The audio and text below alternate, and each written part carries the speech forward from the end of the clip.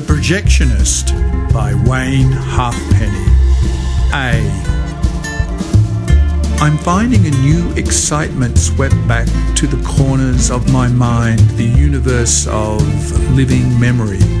Flashes of consciousness flicker in and out, willow the wisps of inspiration lit from the Maker, who stands above the laws of nature.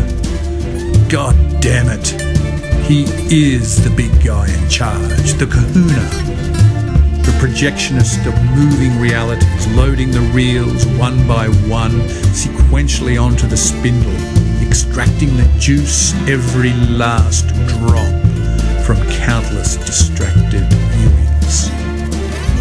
B.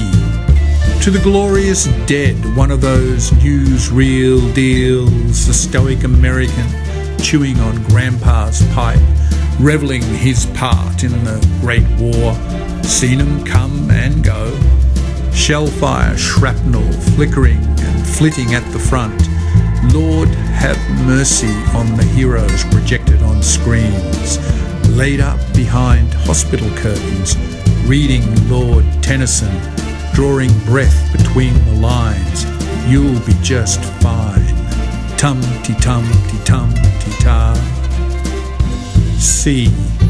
If you experience it enough, it becomes your pinhole of truth, a collection trapped in a celluloid prison, amber chains, light shining, pardoned by the passing. The projectionist knows all this and more, punches the stubs at the door, knocks the popcorn from your hands going in for the final kiss.